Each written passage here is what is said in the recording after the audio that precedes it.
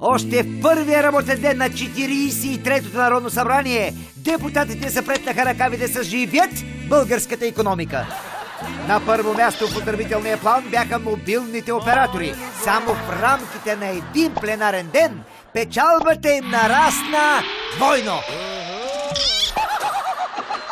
Основен принос за финансовия скок имаше заместник председателя на ДПС Рушен Риза, който изкара голяма част от пленарния ден с телефон в ръка.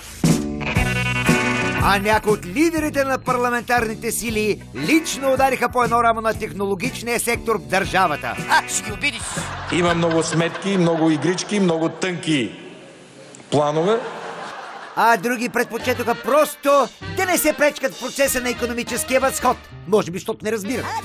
След комуникациите дойде ред за съживяване и на автомобилния бизнес. Да, нова заплата, нова кола. Ай, честито. А видният скулптор Вежди Рашидов се зае да запълва празнините в съвременното българско изкуство.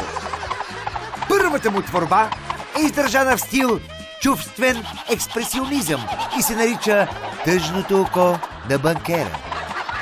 Художникът обеща, че ще дари средствата от цикъла парламентарни натюрморти за спасяването на една банка, натюрът на която е тотално морт. Не унивайте, брати и сестри! Има надежда за българската економика и най-вече култура.